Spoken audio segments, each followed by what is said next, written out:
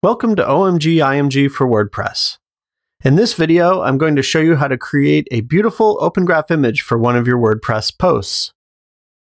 Once you have the plugin installed, you'll find OMG IMG here in the WordPress admin under the Media menu. Welcome to the project screen. This is where you'll see all of the OMG IMG projects you've used to create images. Since I haven't created any OMG images yet, I don't have any projects showing, so let's create one. To create your first OMG image, click on the Create an OMG Image button in the top right. This is the new OMG image screen. Here you have a couple of options. First, select how you'll use the image, Twitter, Facebook, or as an Open Graph image on your site. Then you can choose from one of our presets or start with a blank slate. Let's choose to create an Open Graph image for a post, and we'll choose the side panel preset.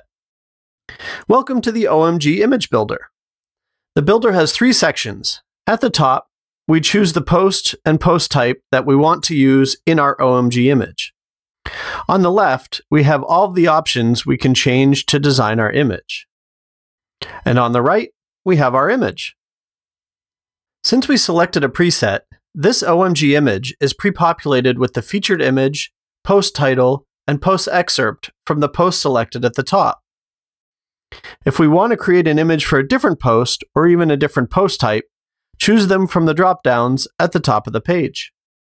Let's stick with this post for now. I like how this image looks, but I want to add a background color and make the title of the post italic. You can navigate around the parts of your image by clicking through on the left, or move your mouse over the image on the right, and you can select the section to edit or drag and drop to rearrange your columns. First, to change the background color, I click on the Options tab and select my background color. Since I set my brand colors in the OMG IMG settings, I can pre-select them in the color picker. Now, to make the title of my post italic, I will hover over the image, click Edit on the second column, and then expand the formatting options for the first text section that's showing the post title. While we're here, let's make the text white.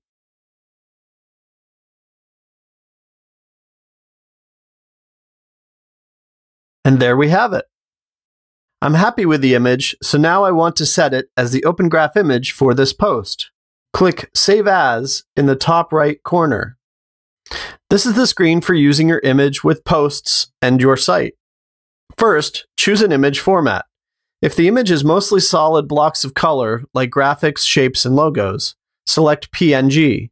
If the image includes real photos and lots of detail, select JPEG. Second, let's specify how we want to use this image. Since it contains the title of a specific post, I probably don't want to use it as the Open Graph image for my entire site but I do think it will work well as the featured image and the open graph image of my post, so I select those. Finally, I have the option of saving the project as a template. This means I can use this layout with any post, and the information from that post will appear in the image. For example, the post title and post excerpt will be swapped out. I could see this coming in handy, so I'll turn that on. And we're done. Let's save our image.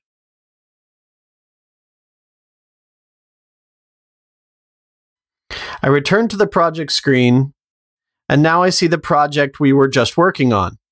I also see that it is a template. Sure enough, when I go to create a new OMG image, I see my template is available. Now I can repeat the process and create a beautiful image for additional posts. If you ever have any questions, comments, or issues, click the feedback button in the bottom right of the OMG IMG pages. A feedback form will open and you can type away. Emails come directly to me. There's more info and articles at omgimg.co. Thanks for watching.